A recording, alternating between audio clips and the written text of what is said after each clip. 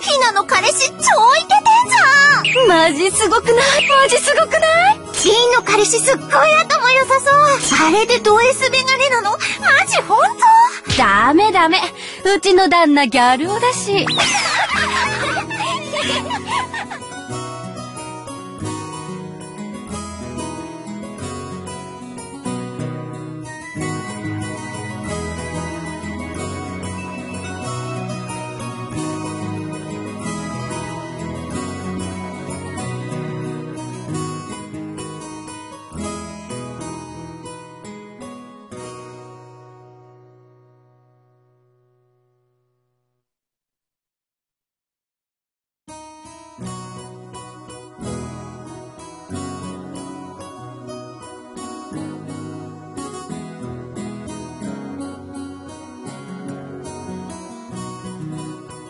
ジェシー、彼氏来た？え？あ、あ、いや、まだ来てねえみてえだぜ。仕事忙しいのかな？ジェシーの彼氏、どんな人なの？せめてヒントだけでも出してよ。何系？何系？すごいよね。社会人なんでしょ？スーツとかで来る？もちろんメガネかけてるよ。キャー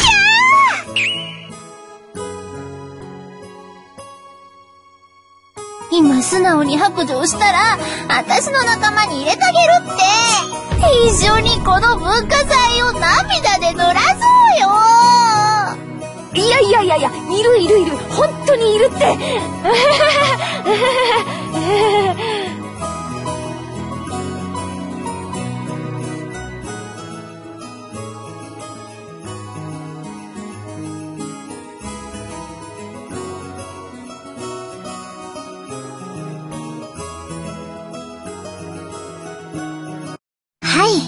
なら、彼氏さんの偽物を立てて連れて行くというのはどうでしょうか？に、に、偽物？だ、誰を？そんなのの心当たりねえぜ。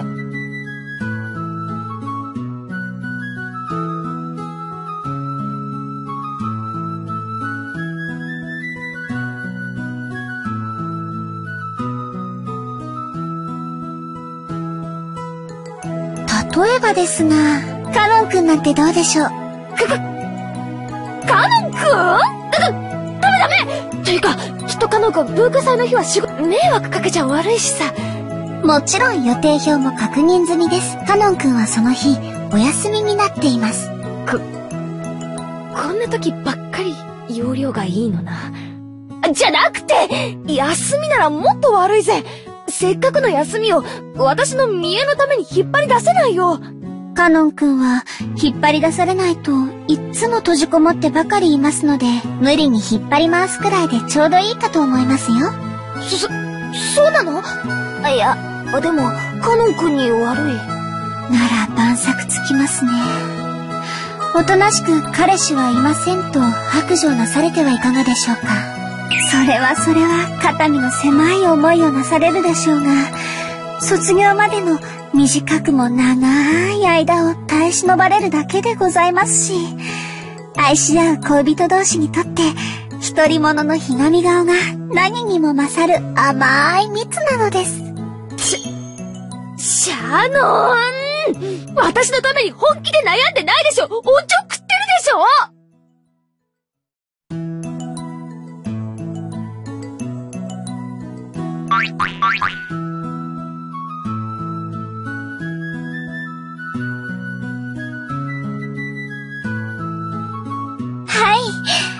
私とジョージ様のことを茶化してばかりのお嬢様への仕返しです。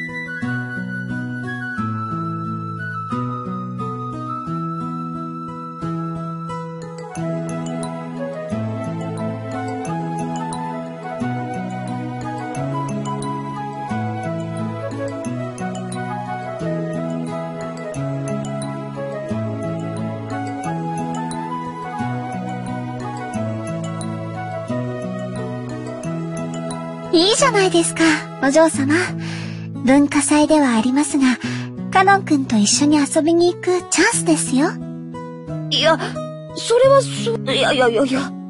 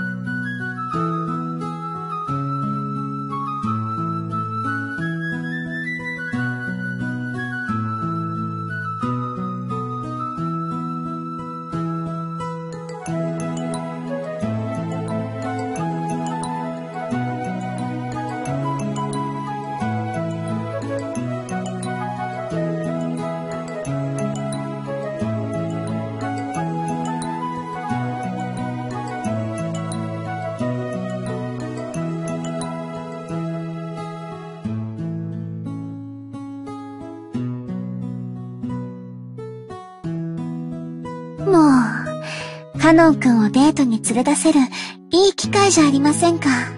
で、で、でもでもでも、カノン君にだって好きな人とかいるかもしれないし、私なんかの見えっ張りに付き合わせたら、気を悪くするぜ。お嬢様のような素直じゃないかって、何でしたっけ？ジョージ様に習いました。そうそう、ツンドラとか言うそうですよ。あと十数年かすると流行るんだそうですよ。へえ、さすが調子に未来のトレンドがわかるのかよ。すげえぜ。じゃなくてってことは、私ってタイプは時代がずれてるってことじゃねえかよ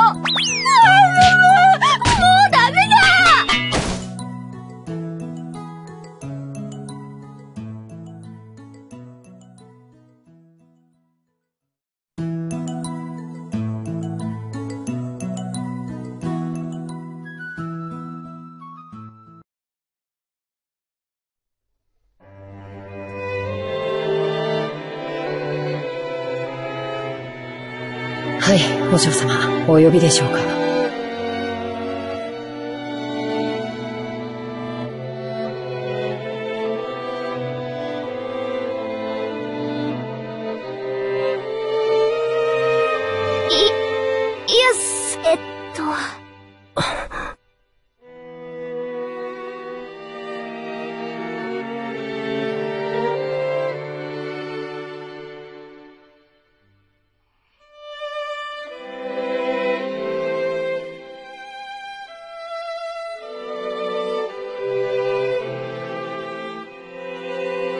シャノンから聞いています。お嬢様の学校の文化祭へ、お供するようにというお話ですか？ああシャノンナイスじゃなくてう、うん、そ、そうなんだけど、あの、その、当日の予定は、ど、どうかな？シャノンから、当日は特にお嬢様にお仕えするよう、言命されております。僕は高校には行ったことがないので分かりませんが、何でも、男性の付き人がいないと、大変肩身が狭い場だとか、後ろ宮本家令嬢が、庶民に劣ることがあってはならないと、特に言命されておりますので。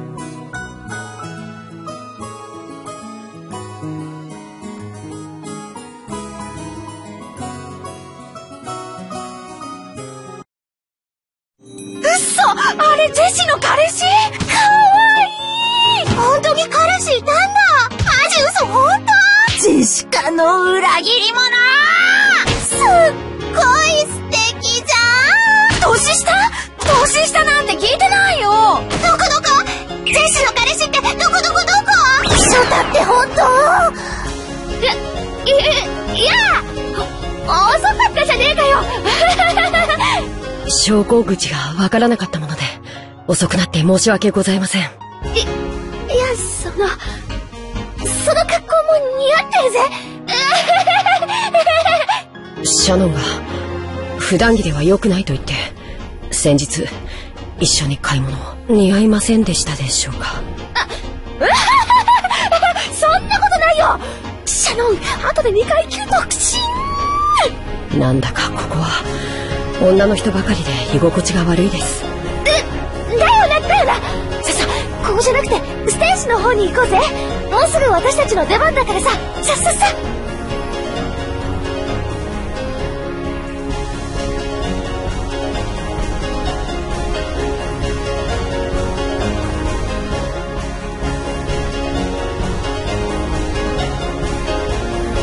なんだか、迷惑をおかけしているような気がします。お邪魔だったでしょうか？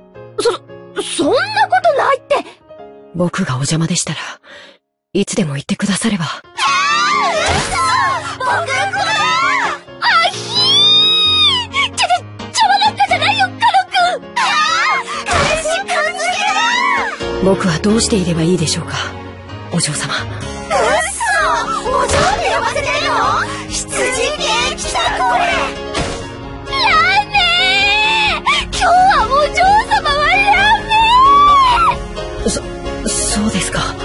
かりました。ジェシカ様。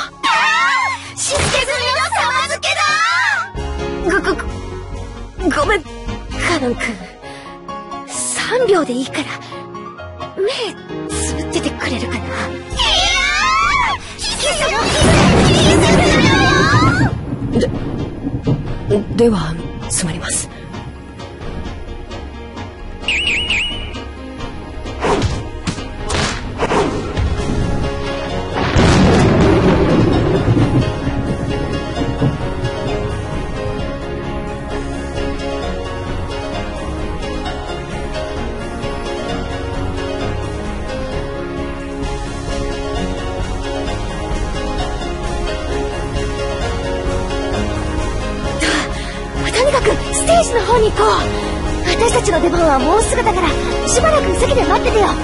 私たちは準備あるからさこの先突き当たりまで行けば仮設部隊があるからわかるぜ。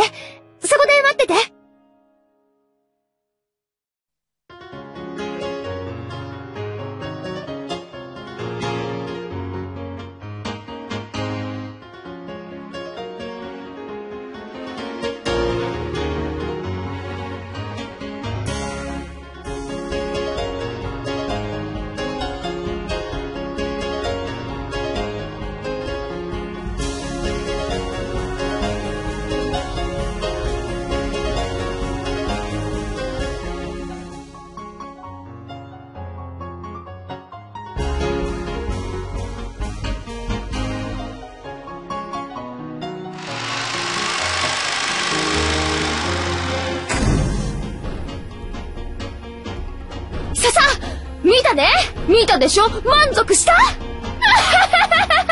ざまあねえぜ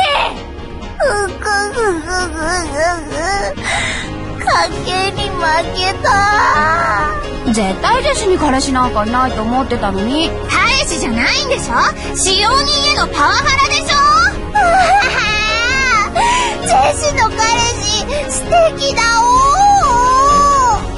いやいやいやかわしいぜ！ほらほら準備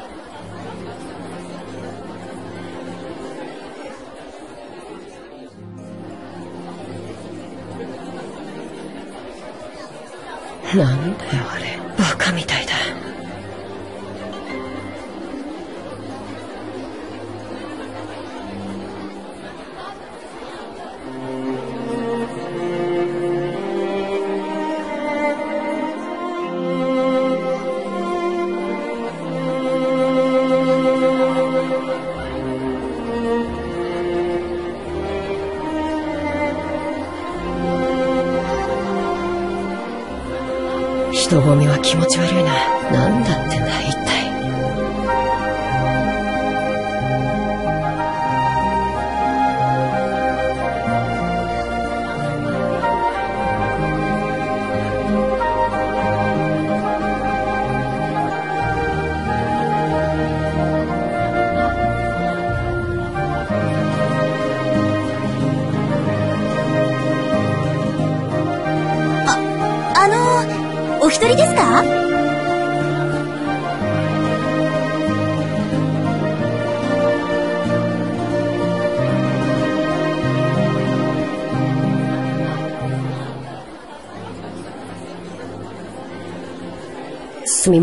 連れがいますのでえ、あ、そうですか。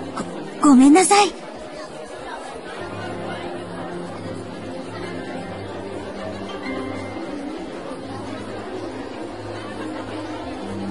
違うよ。あの子だよ、ジェシーの彼氏。嘘あの子が？信じらんないよね。絶対にエアだと思ってたよ。可愛いじゃん。年下？いいな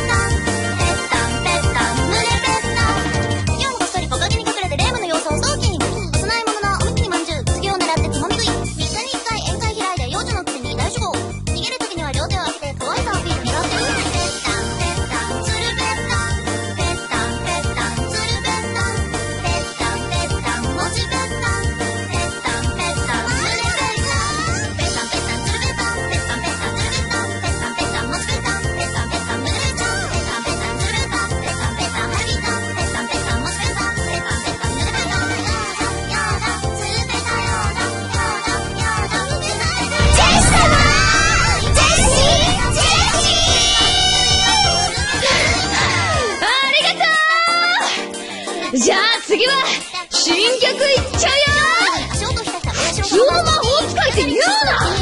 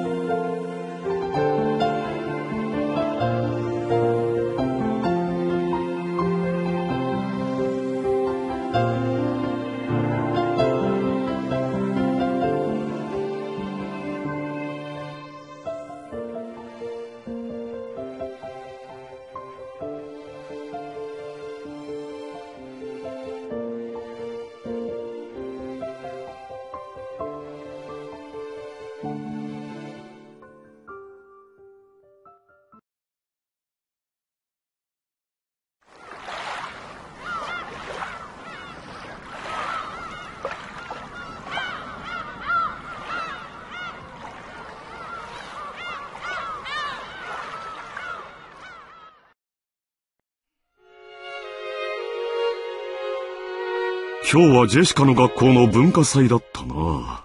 校長先生はお元気でおられたかね？ええ、お元気なようでした。そうそう。高宮議員もおいでになっておりました。あなたによろしくと、特に言っておりましたよ。うん。相変わらずご多忙そうかね。そのようでした。あの方も精力的な方です。そうそう。あと、榎本会長もおいででしたっけ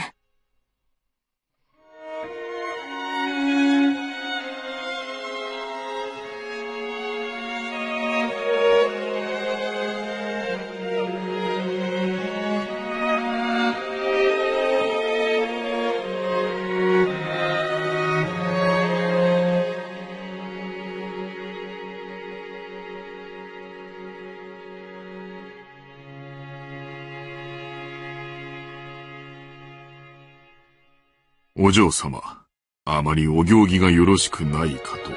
へいへい、そりゃあ悪かったぜ。ジェシカ、そういう言葉遣いは改めるよう、いつも言っていますよ。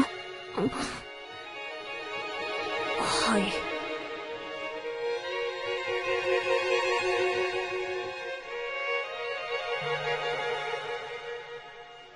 い。ジェシカの方はどうだったかね？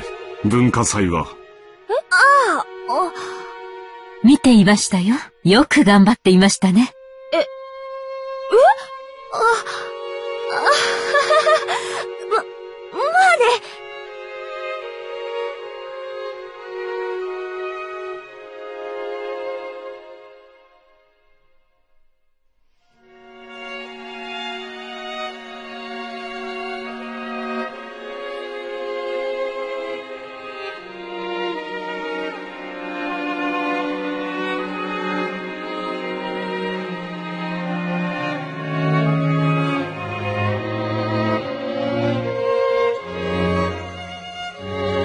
ジェシカもなかなか落ち着きと貫禄が出てきましたね。生徒代表にふさわしい振る舞いでしたよ。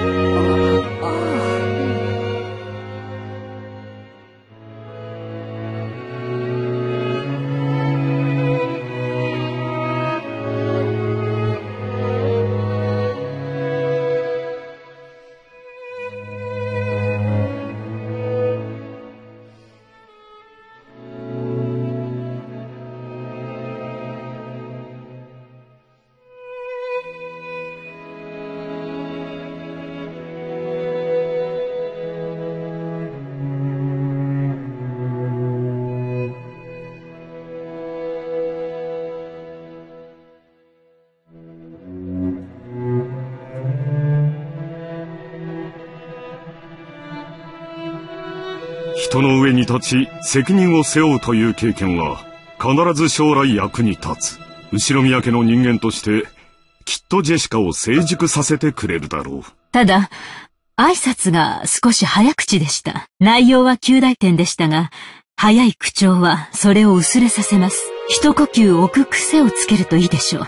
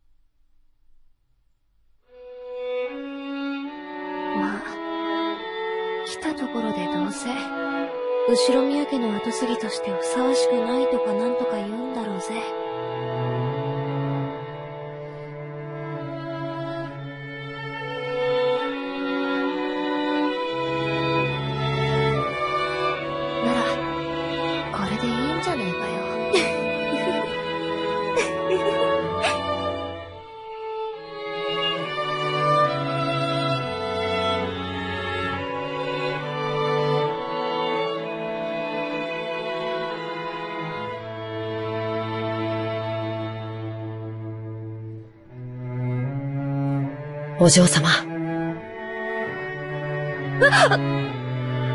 ノン。お、驚かすなよ。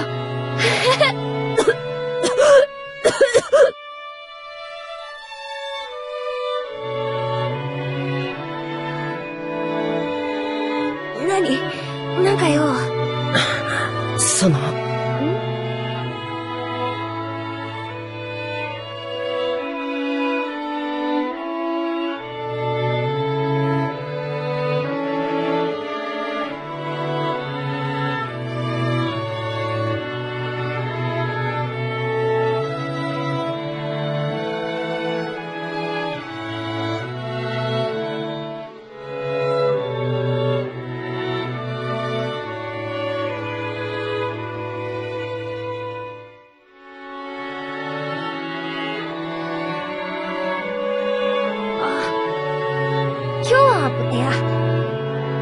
私の見栄に付き合ってくれてありがとうな。助かったぜ。お歌、お上手でした。え？あ、そ、そうかよ。照れるぜ。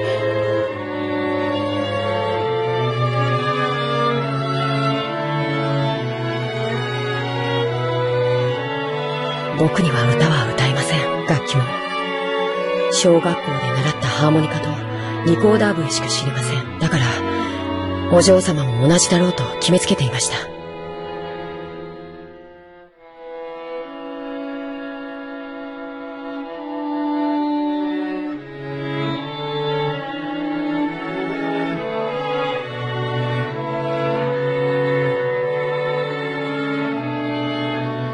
僕は家具だから歌を歌う必要も楽器を扱う必要もないと信じてきました。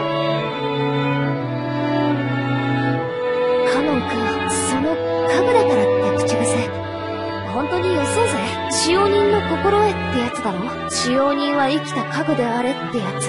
源氏さんがよく口にしてるもんな。心得というわけでは、本当に、家具ですし。福音の家の子たちが、いろいろじい様から援助をもらってるってのは知ってるし、それに恩義を感じてるのも知ってるよ。でもだからって、家具なんて言い方はあんまりだぜ。私たちは、同じ人間じゃないかよ。カノン君は、私が歌ってるのもとても楽しそうに見えました。それは多分違うぜ。え？楽しそうに見えたんじゃなくて、羨ましかったんじゃない？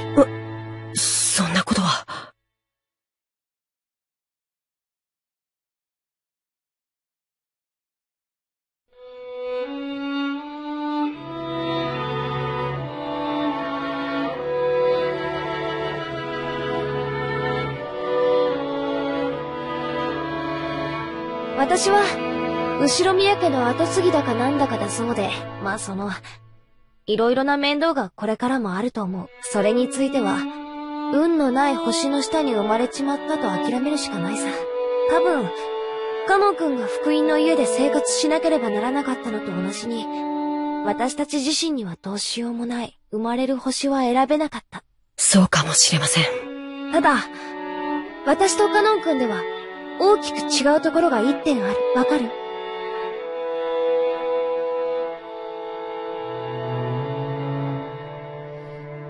わかりません。カノン君は、自らの運命が自分の全てだと思って諦めた。私は、こんな運命じゃ納得できないから、自分の思い切りを頑張ろうと思った。だから、後ろ宮家のお嬢様をやらなければならない窮屈な自分と、自分の好きなことに精一杯の自分というもう一人を作った。もう一人の自分カノン君は、自分のことを家具だからと言い聞かせてきた。そう言い聞かせなきゃならない辛いことが、きっとたくさんあったんだと思う。それについては本当に気の毒だと思う。でも、それだけでカノン君の人生を全て決めちゃうなんて、私はそんなの悲しいと思うんだよ。人はさ、自分の中に、自分が本当に好きになれるもう一人の自分を、いつでも作り出すことができるんだよ。現実逃避とかとは違うぜ。そのもう一人の自分でいるとき、私は最高に生きているって実感できる。だから、普段の日常がどんなに窮屈で退屈でも、私はきっと窒息せずに生きていけるってわけ。自分の中に自分が本当に好きになれる自分を作る。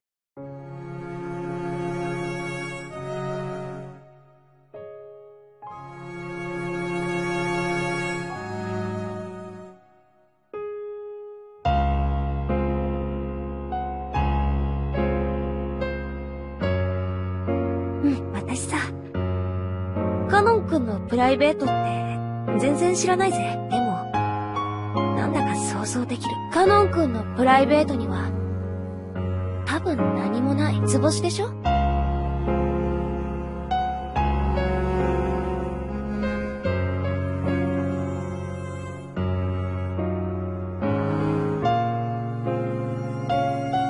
カノン君のカノンってさ、本名じゃないんでしょ？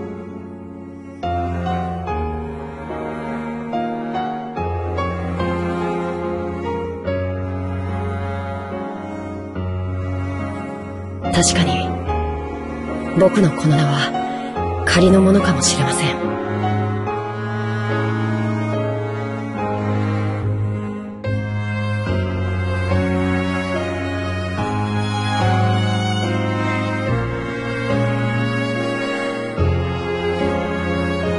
なら、カノン君には、カノン君である時と、そうでない時の違う自分がいてもいいはず。使用人である時のカノン君は、自らを家具と呼び、厳しく事故を戒めてるかもしれない。でも、カノン君じゃない時の君は、もっともっと自由に生きていいと思うんだ。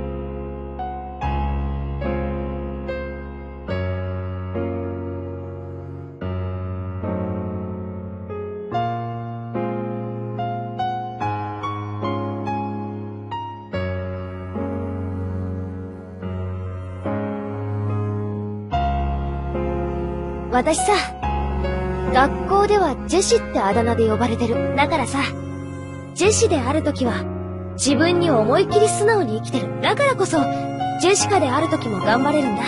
カノン君にも、カノンである時と、カノンじゃなくて、その、本名である時で、違う生き方をしてもいいんじゃないかな。カノンじゃない時。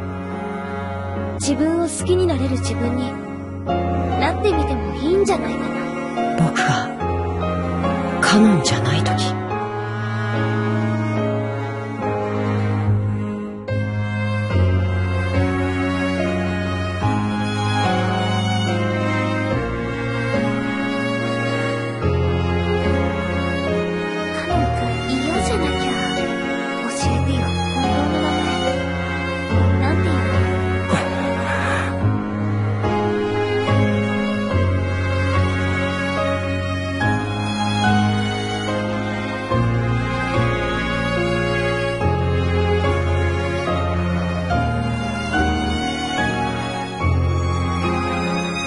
忘れました。僕の名前など。もうどうでもいいことです。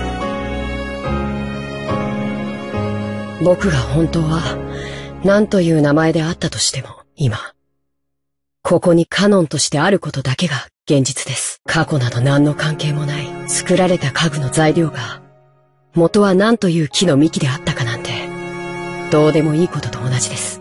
だからよせって、家具じゃないんだぞ。君は人間だぜ僕は人間じゃない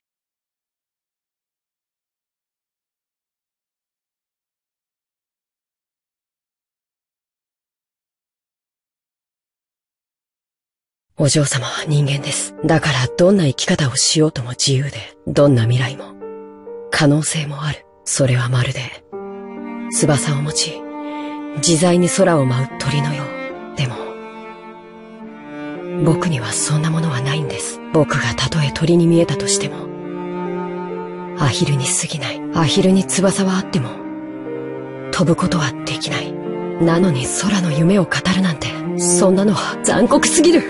家具だの、アヒルだの、何だってんだよ、一体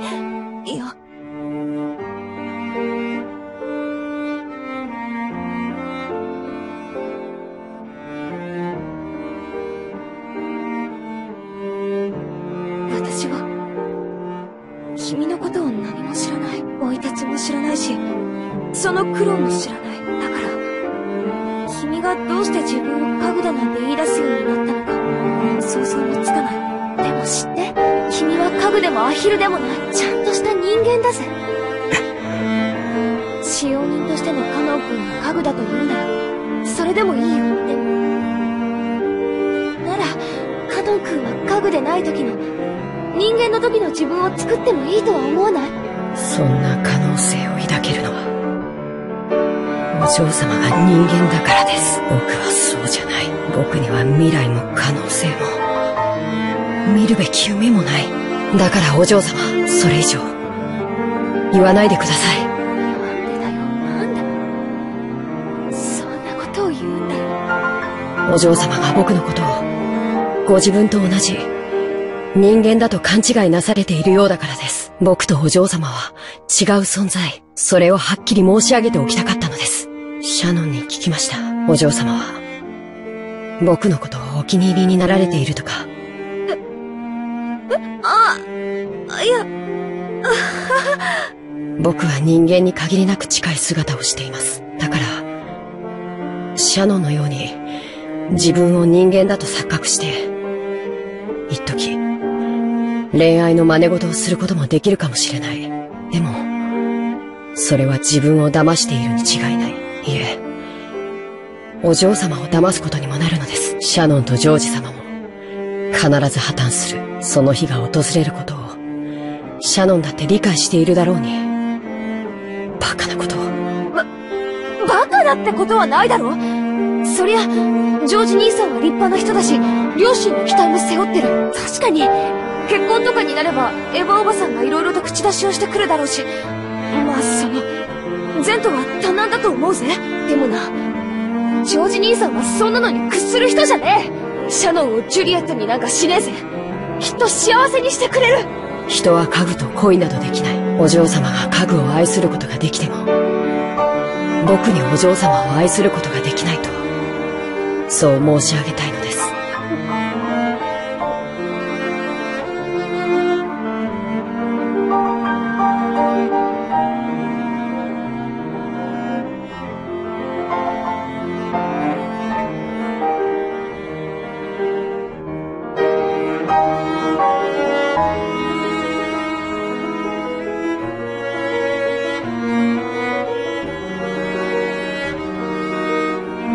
お嬢様が僕を好かれているという気持ちが、僕の思い上がりによるものなら、どうか、お許しください。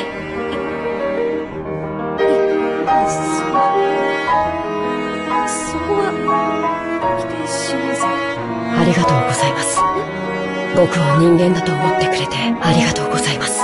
そのお気持ちだけで、僕は本当に嬉しいです。そして、それ以上は、僕には残酷すぎるから。いや、ももう、十分だぜ。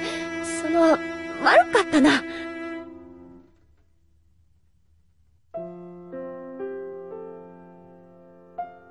私一人が、その、いろいろ先走っちゃって、迷惑かけたよ。正直、ごめん。貴重な休みを丸一日振り回しちゃって。本当にごめん。いえ、僕も、楽しそうなお嬢様が見られて嬉しかったです。じゃあ、今夜はこれで終わりにしようぜ。私も部屋に戻って消灯しないと、また母さんに怒られちまうよ。そうされた方がよろしいでしょう。おやすみなさいませ。お嬢様。おやすみ。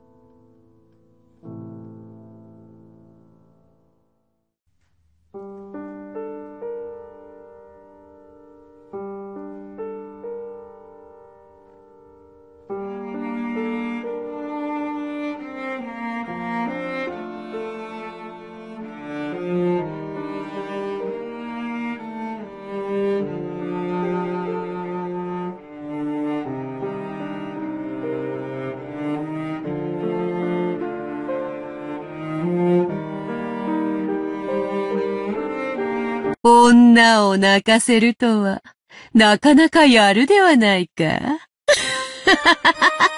お前がそこまで拒絶するとは意外であった。普通に受け答えしていれば、わらわの魔法で二組目の恋人たちが生まれていたものを。いつからそこに、最低な奴だな。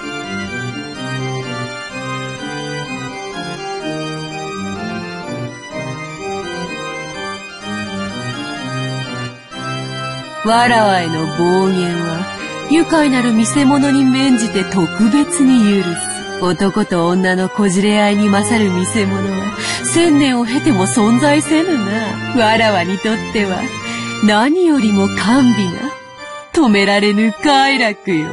ん？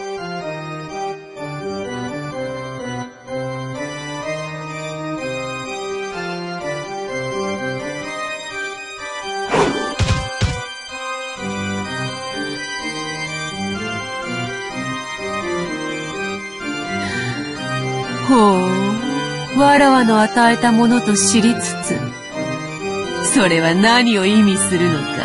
今、理解した。お前がしているのは恋のキューピッドなんて洒落たものじゃない。お前は、結ばれぬ者たちに恋を見せて、たぶらかして、楽しんでいるだけの悪魔だ。そう思うも自由よ。わらわが力を貸した人間の多くは、お前と同じようなことを口にする。ほうけるなお前は。シャノンを憐れんで力を貸したんじゃない。恋に胸を焦がすシャノンの心の隙をついて、自分を封じていた鏡を割らせた。しかもそれだけじゃ、その末路まで想像がついていて、もてあそんでいる。違うか？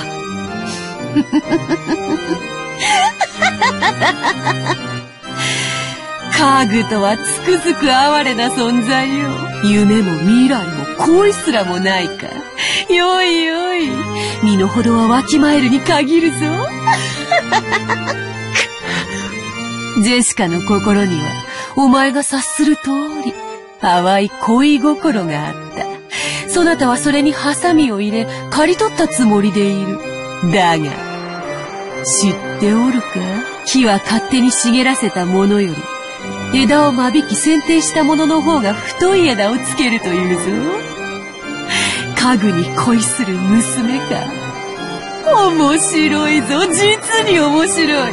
シャーノンとジョージもやがては結ばれ得ぬ恋に行き詰まり、わらわ好みの大きな果実を実らせるだろう。しかし、いかんせんあの二人はうまくいきすぎていて、面白くなくてな。そこへ行くと、お前たちは大いにわらわを楽しませてくれそうだぞ。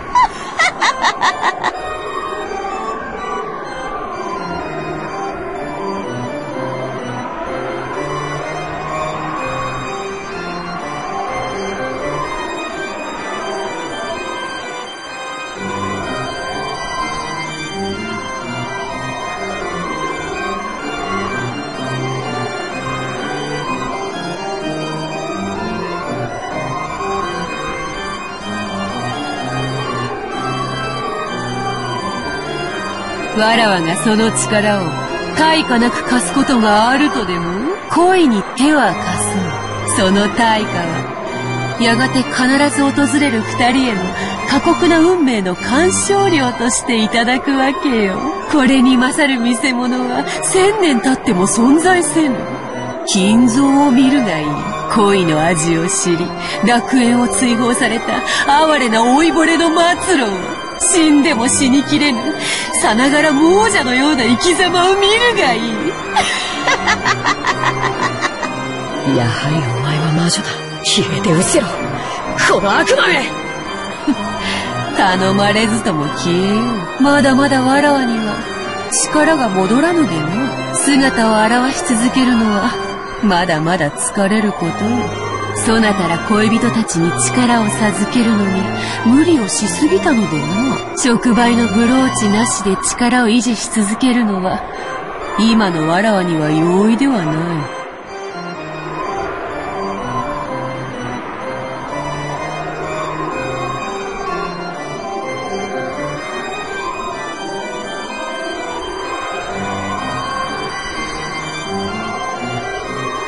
わらわもこの姿を保ち続けるのがちと苦しい。しばしそなたの願い通り姿を消そう満ちぬ潮も月もないように我が魔力も必ず満ちる。そして必ずや訪れよう。わらわが蘇るにふさわしい時。がそれが明日のことか。来年のことか。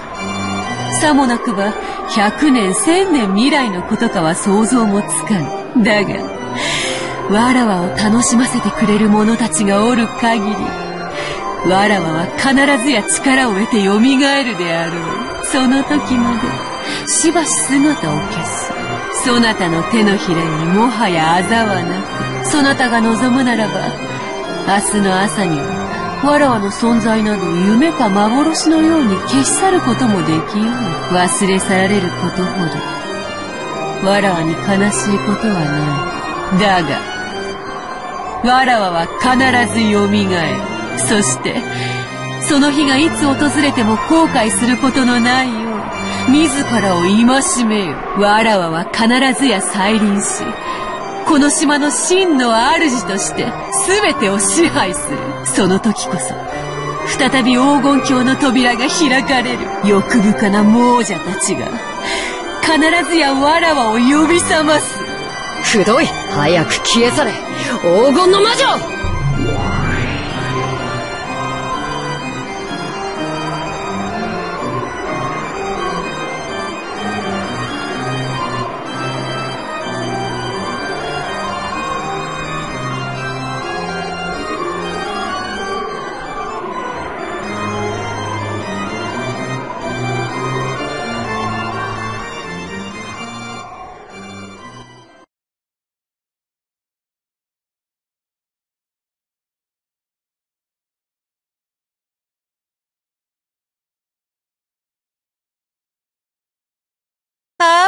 愉快、愉快。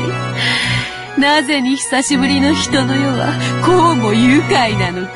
恋に狂え、黄金に狂え、そのどちらにも狂わぬものなど人間にあらず。なるほど。故に家具とは言い得たり。家具は人間に奉仕するために生み出される。そしてわらわは、退屈なる千年の慰み者として人間を虐げる。そのわらわが家具を支配できぬとは。なんとも愉快な三すくみ。金蔵め。実に面白いことをしてくれる家具め。わらわを撃てるか試みてみるがいい。今宵。まきたる恋の種は二つ。すでにまきたる種と含めて、これで三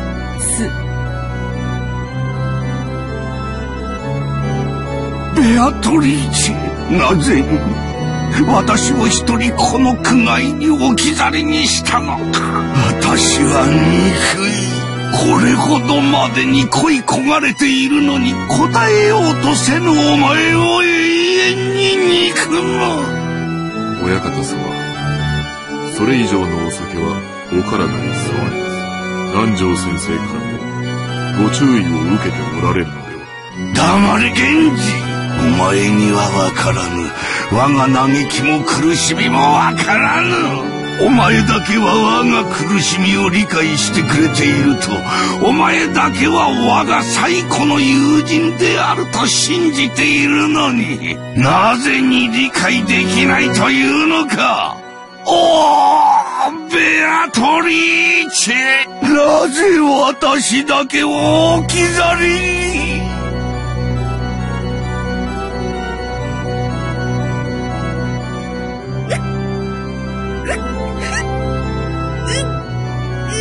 に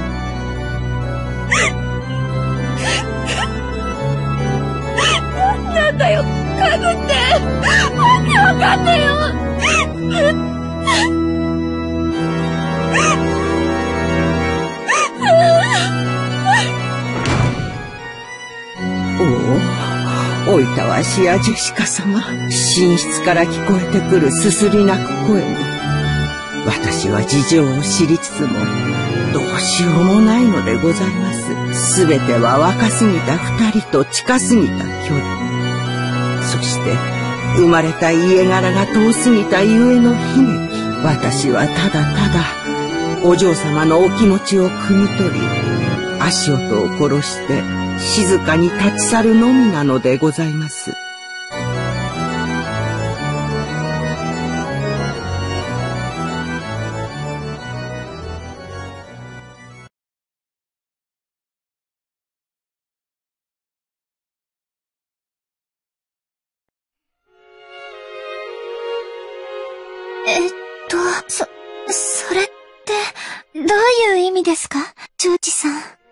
言葉通りの意味だよ。僕はまだ自分の城を築き上げてない。それができて初めて、僕は一人前になれたと思えるんだ。その時、君と結婚したい。そ、それはその、えっと。でもそれじゃあ、もう僕の心が許せないんだ。だから、君に婚約指輪を贈りたい。ですか？でもその、私、か、家具ですし。そうだったね。じゃあ、家具は人の言うことを聞かないとね。今、君に送るのにふさわしい指輪を作らせてる。多分、今度の親族会議の日には持っていけると思う。その時に送るから、どうか君の返事を聞かせてほしいんだ。君が僕の婚約を受けてくれたら、僕はその席でおじい様を含めたすべての親族の前で、君との婚約を宣言する。ちょ、長治さん。君と僕の仲を、ふさわしくないと咎める人たちはきっといる。でも、そいつらの顔を見る必要はない。君は、その瞳の中に、僕だけを満たしていればいいから、君を、必ず幸せにする。それだけは、絶対に約束するから。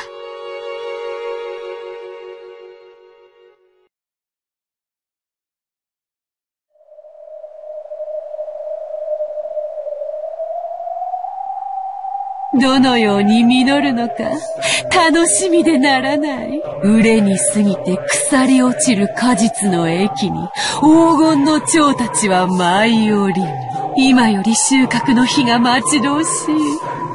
宴の時はまだか？まだか？